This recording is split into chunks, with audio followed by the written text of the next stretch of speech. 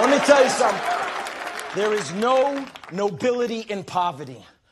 I have been a rich man and I have been a poor man, and I choose rich every fucking time. Because at least as a rich man, when I have to face my problems, I show up in the back of a limo wearing a $2,000 suit and a $40,000 gold fucking watch.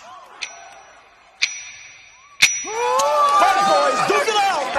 Now, if anyone here thinks I'm superficial or materialistic, go get a job at fucking